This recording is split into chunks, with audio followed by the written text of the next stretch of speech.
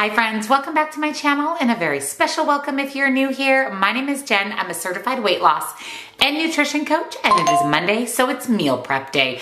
I have three really good recipes for you. Comfort food with protein and then a Christmas holiday inspired dessert. So if you're excited, give this video a big, huge thumbs up. Make sure you're subscribed, your bell notification is turned on because I do a meal prep every Monday and I actually upload five videos every single week. Don't forget to check out the description box down below. At the top, I will put my recipe website. That is where you will find all of my recipes, including today's, as well as nutrition coaching, where I offer personalized macros and calories. Highly, highly recommend. This is what I utilize to lose 140 pounds and keep that weight off long term. I also offer one-on-one -on -one coaching for accountability, to ask questions, or to chat with me directly. Links and discounts to my favorite things and come join our Facebook group. It's free, it's supportive, it's fun. Come join us, we'd love to have you. So let's head on into my kitchen for this week's meal prep. For my breakfast this week, I'm going to make protein cinnamon pumpkin waffles.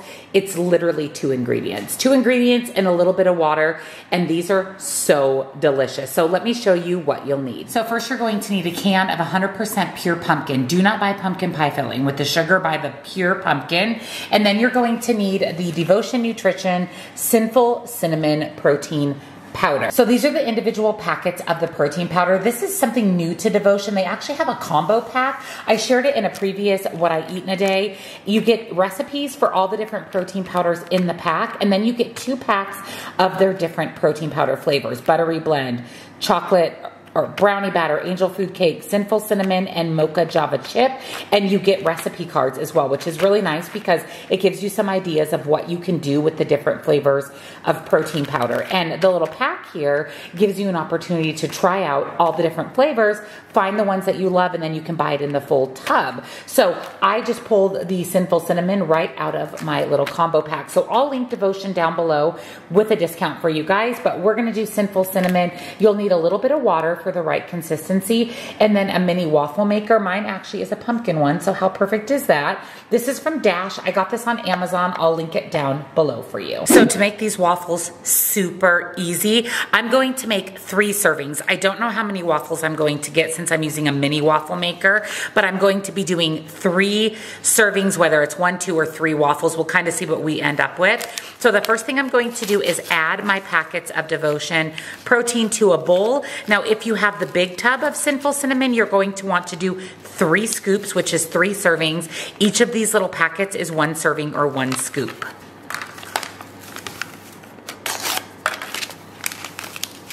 It smells so good like cinnamon rolls. It, it, literally smells like cinnamon rolls. And then we're going to do about three tablespoons of pumpkin puree. And then add just a little bit of water to get the right consistency of a batter. And then stir and then continue adding water as needed. Here's what your batter should look like. I have my Dash little mini waffle maker warming up. We're going to spray it with some non-stick cooking spray and then add in our mixture. And like I said, I'm not sure how many waffles I'm going to get. We're just gonna play it by ear. Close her up, and when the waffle is done, the little light will go off. And our first waffle is done. I think this is so cute. It makes a little pumpkin shape. I mean, you can use any mini waffle maker, any full-size waffle maker. So I'm going to add a little more spray and make waffle number two, and just repeat until we're out of batter.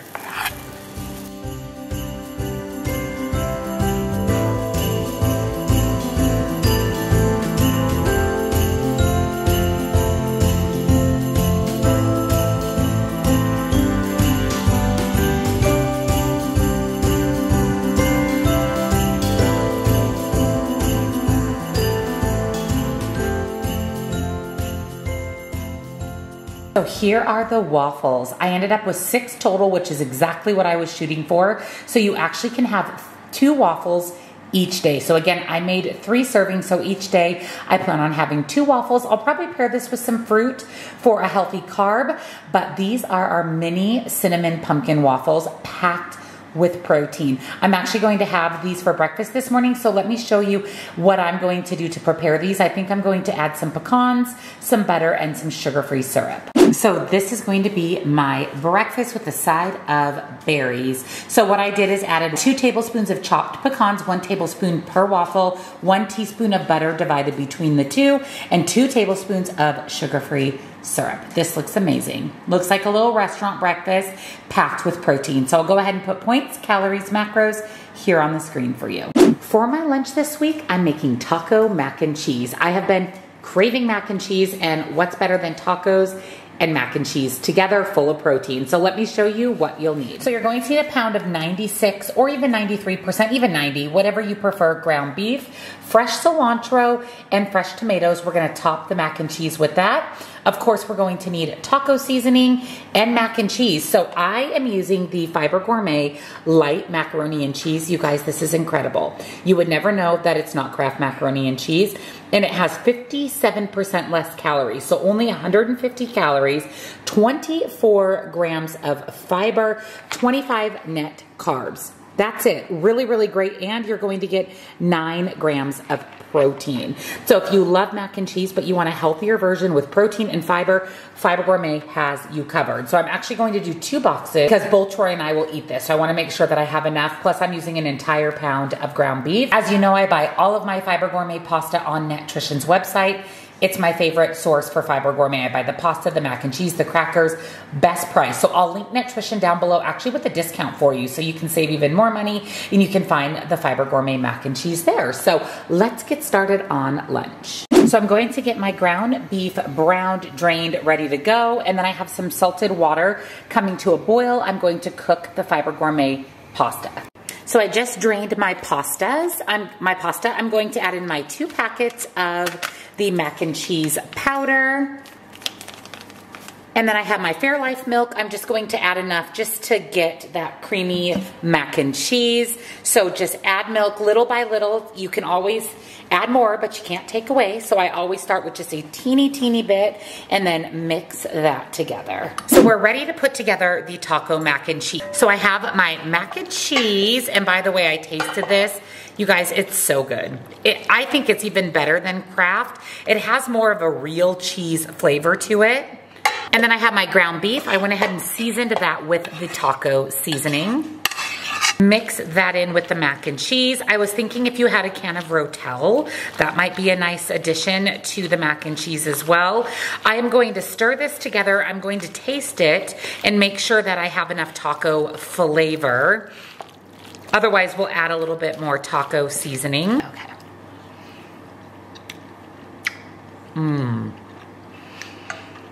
Ugh. That is really good. So let me show you what I'm going to top this with when I go to have it for lunch this week. So here is the taco mac and cheese. I went ahead and diced up my tomatoes and cilantro. So I'm going to top it with some of each. And then I have some queso and some sour cream. I thought maybe melting about a tablespoon of queso and drizzling that on top might be really good. And then you can also add sour cream. You can have avocado. You can really just doctor this up and make it a and it can be so many different variations of taco mac and cheese.